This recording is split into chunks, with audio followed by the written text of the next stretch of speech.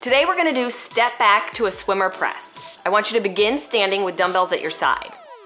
Step back to a lunge while you curl the weights to your chest. Then press the weights overhead and rotate your palms to face forward. Lower the weights while returning to your standing position. On the back lunge, be sure to get as low as possible without allowing your front knee to track over your toe or your back knee to touch the ground.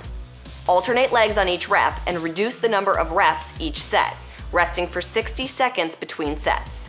For an added challenge, try 15 reps on your final set. All right, there it is. I hope you enjoyed today's one move workout. If you haven't subscribed yet, please be sure to do so. You'll get all of my videos coming right to your inbox. Thank you for joining me. See you guys next time. Bye.